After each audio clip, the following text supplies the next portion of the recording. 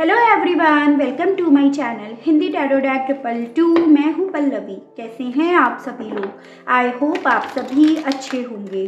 सो so guys आज मैं आप सभी लोगों के लिए लेकर आई हूँ एक और नई रीडिंग और आज हम ये देखने जा रहे हैं कि आप जिस पर्सन के साथ डील कर रहे हैं या जिनके लिए भी आप आज इस रीडिंग तक आए हैं, उनका अभी इस वक्त में आपको लेकर या आपके साथ इनका जो भी रिश्ता है, उसको लेकर क्या सोचना है। तो इस पर्सन की अभी इस वक्त की एनर्जीज जानने की कोशिश करी जा रही है। साथ में अगर यहाँ पर हो सकेगा तो यहाँ पर एक्शंस भी देखे जाएँगे इस पर्सन के क्या रिसेंटली इस पर्सन की साइड से आपकी तरफ़ कोई एक्शंस आता है या नहीं, कोई पॉसिबिलिटीज़ दिख रही है एक्शंस की या नहीं तो वो भी देखा जाएगा। ध्यान आपको बस इतना ज़रूर से रखना होगा कि जब यहाँ पर रीडिंग हो रही हो तो उस दौरान पे आपको अपना फोकस पूरा का पूरा अपने पर्सन के ऊपर बनाए रखना है, जिनके लिए आप ये रीडिंग देख रहे हैं और जानना चाह रहे हैं कि इनकी एनर्जीज क्या है, इनकी सोच क्या है आपको लेकर, आपके साथ को लेकर। ठीक है? तो चलिए देख लेते हैं। गाइड कीजिए universe please divine please archangels please holy angels please spirit guide मुझे गाइड कीजिए, बताइए। करंट एनर्जीज के बारे में बताइए व्यूअर्स की, अभी इस वक्त में पर्सन किस एनर्जी में, किस सोच में है? गाइड कीजिए, बताइए universe helpless and hopeless lead feeling alone peach solar plexus chakra and overall energy है एम्ब्रेस गाइड कीजिए universe please divine please archangels please holy angels please spread guide मुझे गाइड कीजिए, बताइए। हेल्पलेस एंड होपलेस के मामले में अभी इस वक्त में व्यूअर्स के पर्सन की क्या एनर्जीज क्या सोच है गाइड कीजिए, बताइए। Completions the outsider feeling alone को क्लैरिफाई कीजिए, बताइए, इस मामले में करंट एनर्जीज व्यूअर्स के पर्सन की अभी इस वक्त की क्या है, गाइड कीजिए, बताइए। Change. Break through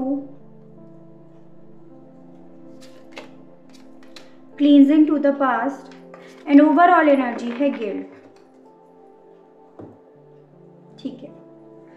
तो देखिए, सबसे पहले मैं एनर्जीज डिस्कस कर रही हूँ। जैसे यहाँ पर जो मेजॉरिटी लेवल पे एनर्जीज मुझे दिखाई दी हैं, वो है आपकी टॉरस वर्गो एंड कैप्रिकॉन वृषभ, कन्या एंड मकर राशि जेमनाइन लिब्रा एंड एक्वेरियस मिथुन तुला एंड कुंभ राशि कैंसर पाइसिस एंड स्कॉर्पियो कर्क, मीन एंड वृश्चिक राशि ठीक है? तो ये तो मुझे मेजॉरिटी लेवल पे एनर्जीज दिखाई दी हैं। मैं जब वापस से यहाँ पर क्लैरिफिकेशन के लिए कार्ड्स निकालूँगी तो फिर से डिस्कस करूँगी कि और यहाँ पर कौन कौन सी एनर्जीज हैं।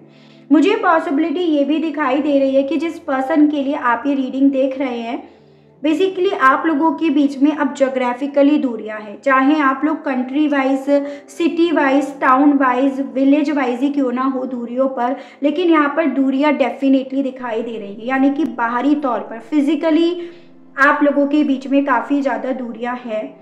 Number five and number eight and number twenty one ये तीन बेहद ज़्यादा इंपॉर्टेंट दिख रहे हैं, यानी कि मई और अगस्त मंथ, जो आपसे इसी पर्सन के माध्यम से डायरेक्टली या इनडायरेक्टली वे में जुड़ा हुआ है। एज एन इनका बर्थ मंथ आपका बर्थ मंथ इन मंथ्स मंथ्स में आप मिले थे, इन मंथ्स में आप बिछड़े थे तो ऐसे करके आपको ये नंबर या ये मंथ लेकर चलने होंगे, लेकिन ज़बरदस्ती आपको अपने आप से कुछ भी रिलेट नहीं कराना है।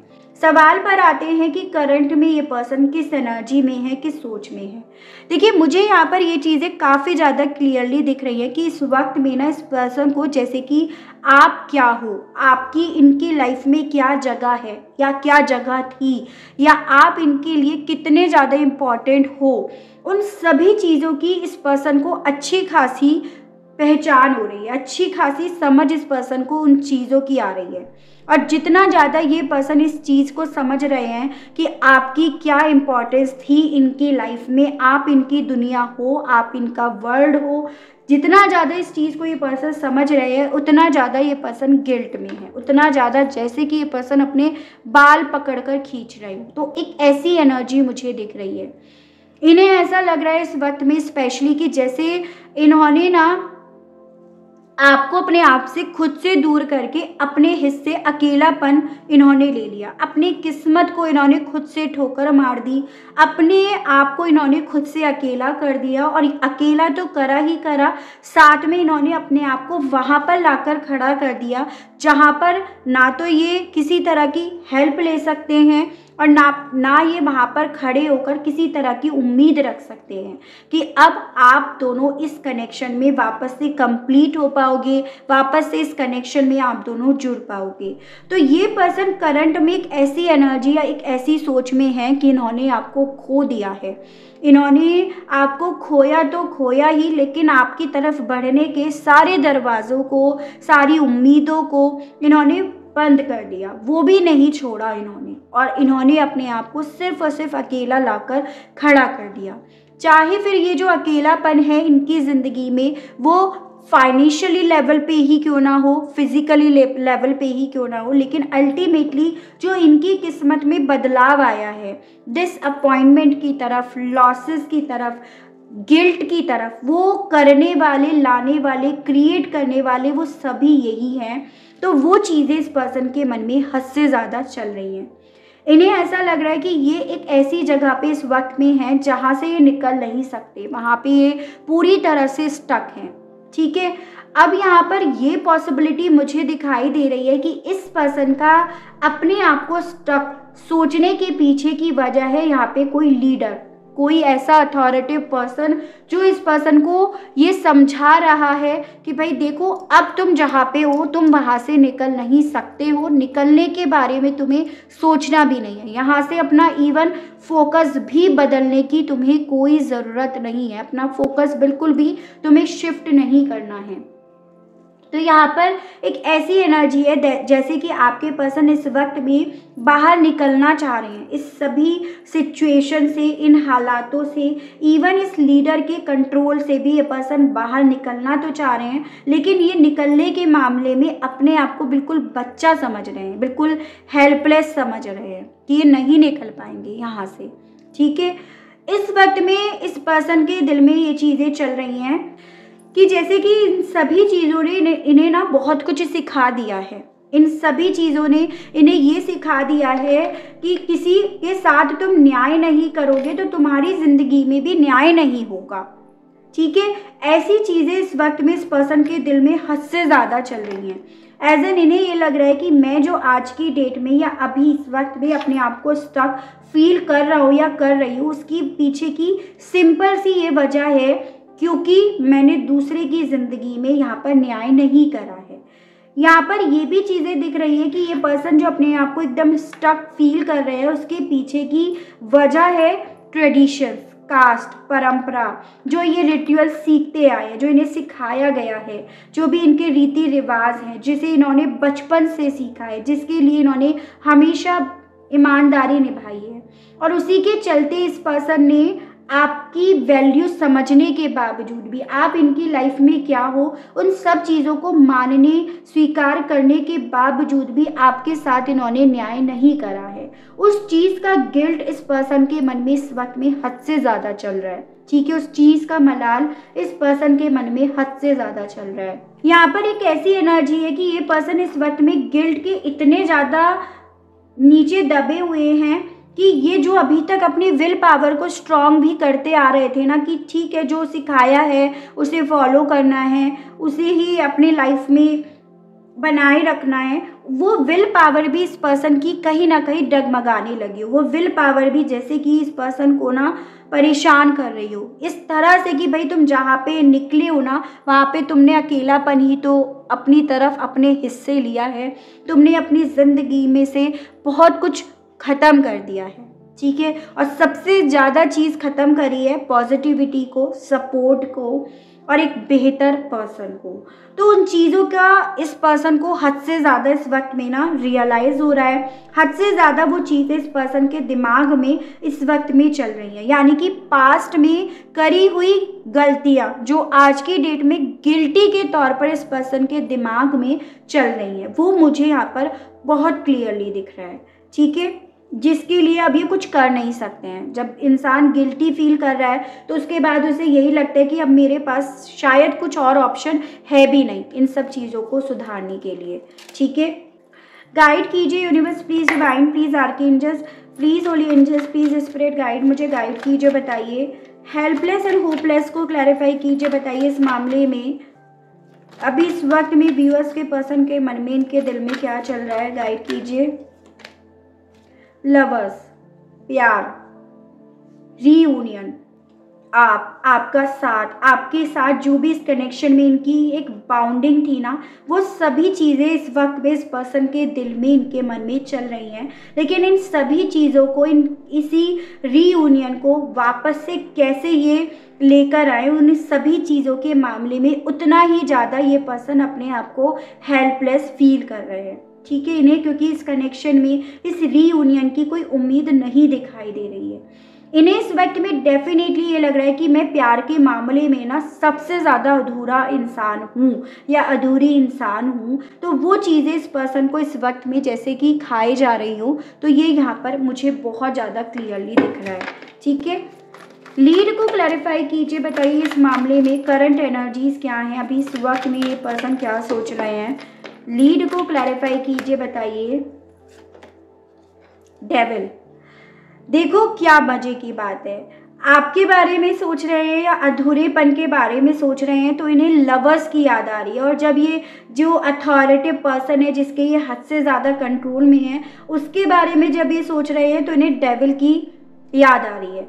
यानी कि यहाँ पर डेफिनेटली बहुत ज़्यादा पॉसिबिलिटी दिख रही है कि आपके पर्सन हद से ज़्यादा किसी के कंट्रोल में हैं, जिसे ये ना चाहकर फॉलो कर रहे हैं। किसी की जंजीरों में ये बंधे हुए हैं, किसी के रूल्स एंड रेगुलेशंस के अंदर ये पर्सन इस कदर बंधे हुए हैं कि ये यहाँ से चाह कर भी नहीं निकल पा रहे हैं। या चाहते भी हैं तो वहाँ से निकलने के मामले में अपने आप को एकदम हेल्पलेस फील करने लगते हैं। एकदम डिसअपॉइंट होने लगते हैं कि ये यहाँ से शायद नहीं निकल पाएँगे।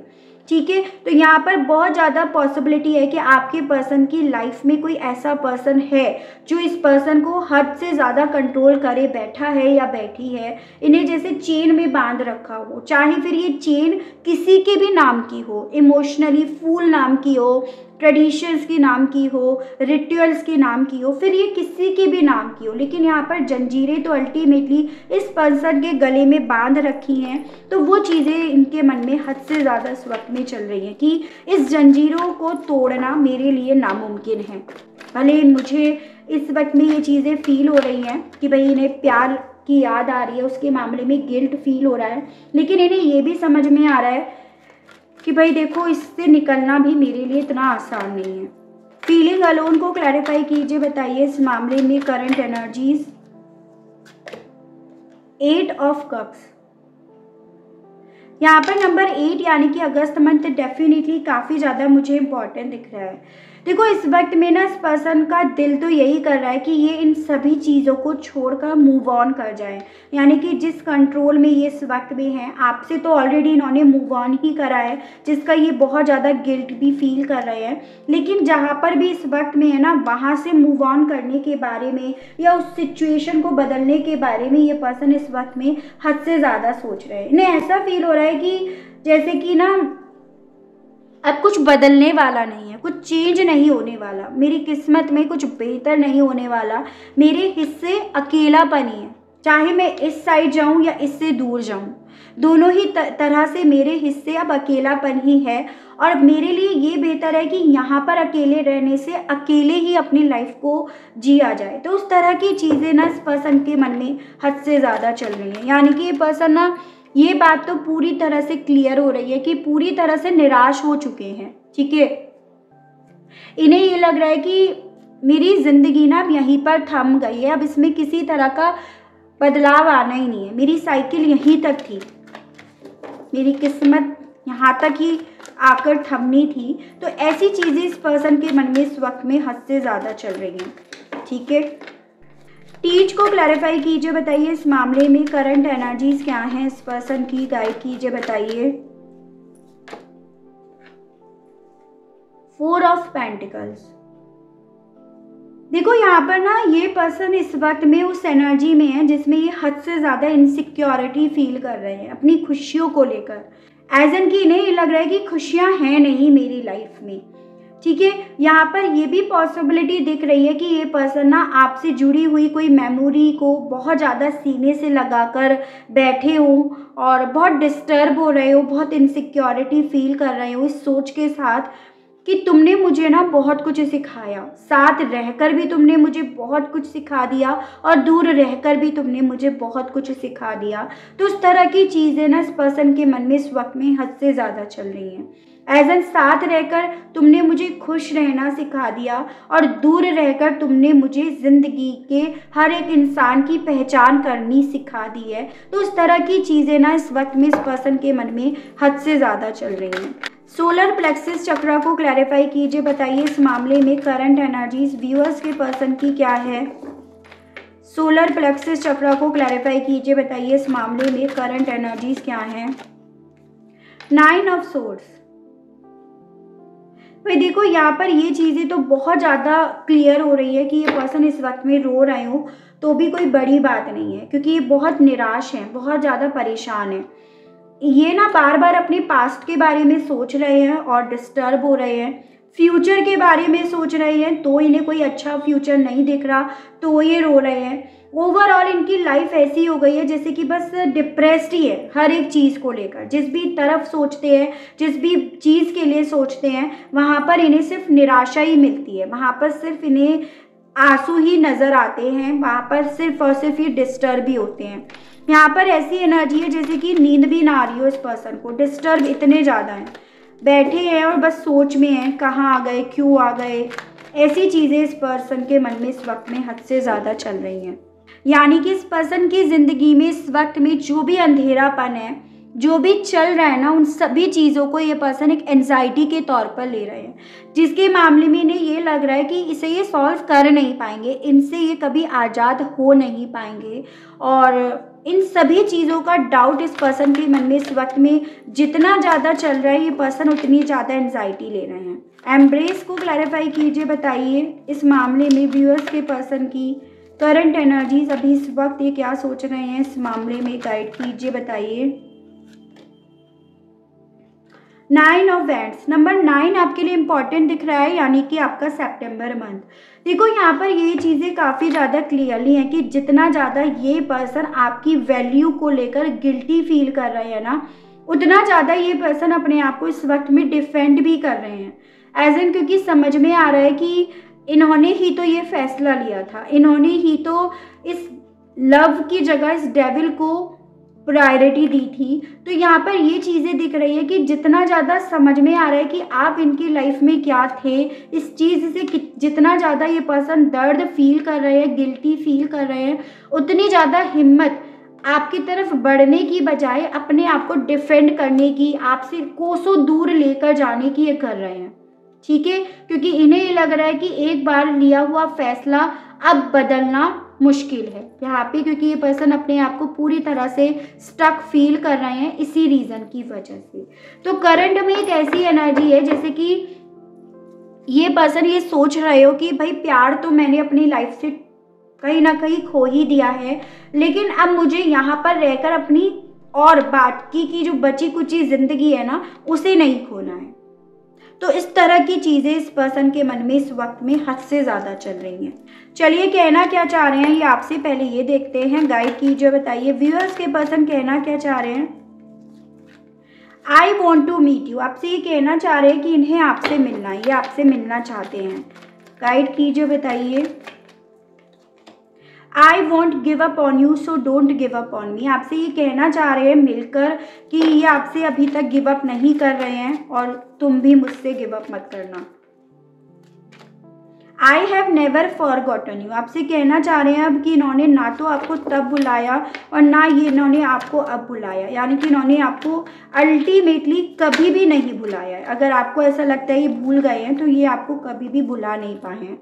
You still take my breath away क्योंकि तुम तो हमेशा से मेरी सांसों पर कब्जा करे हुए हो। मेरी साँसें सिर्फ़ और सिर्फ़ तुम्हारे ही नाम से जैसे चल रही हूँ, तुम्हारी यादों से चल रही हूँ।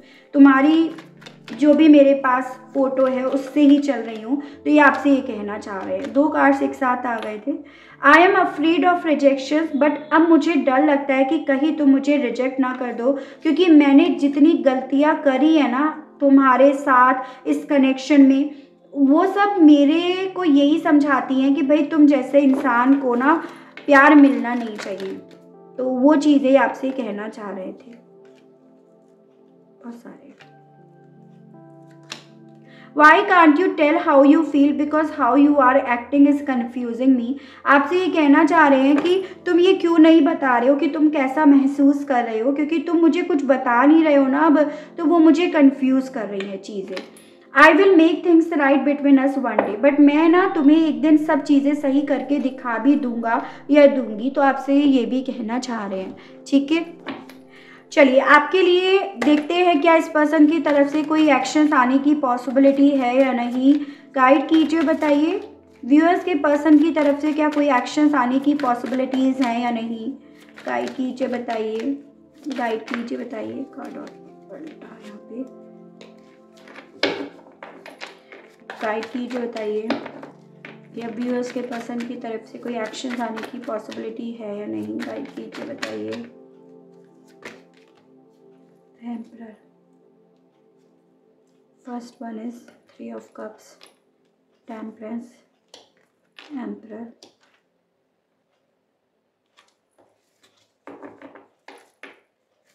Four of emperor को क्लैरिफाई कीजिए, बताइए यूनिवर्स एम्प्रर को और क्लैरिफाई कीजिए.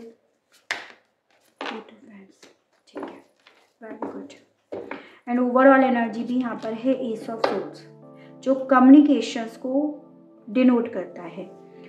देखो, मुझे यहाँ पर ये चीज़ें दिख रही है कि पास्ट में डेफिनेटली आपके पर्सन इस थर्ड पार्टी की तरफ़ अट्रैक्ट हुए थे। पास्ट में आपके पर्सन इस थर्ड पार्टी की तरफ़ जाकर उसके साथ जो खुशियाँ इन्हें दिख रही थी ना, उस चीज़ की तरफ़ ये हद से ज़्यादा अट्रैक्ट हुए थे। करंट में अब ये पर्सन उस स्टेज पे पहुँच चुके हैं जहाँ पर ये आपके साथ जुड़ना चाह रहे हैं। फिर चाहे भले आप दोनों के बीच में कितने भी डिफरेंसेस क्यों ना हो। यानी कि इस कनेक्शन में ये पर्सन उम्मीद देखना चाह रहे हैं बैलेंस देखना चाह रहे हैं, इस कनेक्शन का वेट तक इवन ये पर्सन करना चाह रहे हैं। और कहीं ना कहीं यही चाहत इस पर्सन को इस एम्प्रर की एनर्जी में लेकर आएगी, जिस एम्प्रर के कंट्रोल में अभी ये पर्सन इस वक्त में है करंट में। ठीक है? एज एन यहाँ पर ये चीज़ें मुझे बहुत ज़्यादा क्लियरली दिख रही हैं कि आपके पर्सन डेफिनेटली ना अपनी पावर को समझेंगे, अपनी पावर में आएँगे और उसी पावर में आने के चलते ये पर्सन आपसे बात भी करेंगे। आपको पूरी तरह से चीज़ों को क्लियर करेंगे क्या चाहते हैं, क्या चाहत है, क्यों हुआ, कैसे हुआ, किस चीज़ के लिए गिल्टी है। तो वो चीज़ें इस पर्सन की तरफ़ से आपकी तरफ़ बढ़ने की मुझे पॉसिबिलिटीज़ बहुत क्लियरली यहाँ पर दिख रही है। ठीक है? और मतलब ये दिख रहा है जैसे कि ये पर्सन खुद से चीज़ों को क्लियर करेंगे आपसे। ठीक है? समय और देखते हैं गाइड की, जो बताइए कब तक व्यूअर्स के पर्सन के एक्शंस आने की, इनकी तरफ़ से कॉल टेक्स्ट या मैसेज आने की पॉसिबिलिटीज़ दिख रही है। गाइड कीजिए बताइए यूनिवर्स गाइड कीजिए बताइए। नाइट ऑफ़ कप्स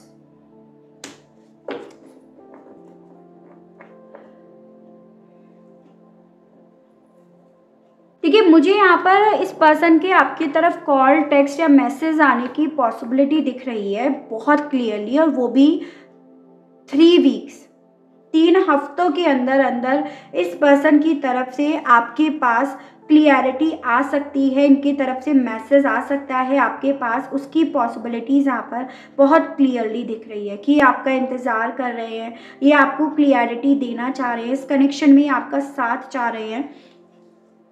तो उस तरह की सभी क्लियरिटीज़ इस पर्सन की तरफ़ से आने की पॉसिबिलिटीज़ तीन हफ्तों के अंदर अंदर, जब भी आपके सामने ये रीडिंग आती है, उसके थ्री वीक्स के अंदर अंदर आने की हद से ज़्यादा पॉसिबिलिटीज़ मुझे काफ़ी क्लियरली दिखी है। ठीक है?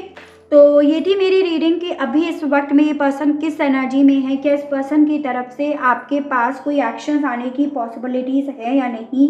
है तो कब तक? तो ये सभी डाउट्स मैंने क्लियर करे। आई होप आपको रीडिंग के माध्यम से क्लियरिटी मिली हो, आप कनेक्ट कर पाए हो अपने आप को इस रीडिंग से, अगर आपको क्लियरिटी मिलती है, कनेक्ट कर पाते हैं तो बताइएगा ज़रूर। चैनल को लाइक, शेयर एंड सब्सक्राइब ज़रूर से कीजिएगा, ताकि मैं आप लोगों के लिए इसी तरह से नई नई रीडिंग्स नए नए टॉपिक्स लेकर आ सकूँ, और हम लोगों का साथ, हम लोगों का प्यार यूँ ही बना रहे। आज के लिए बस इतना ही। Okay bye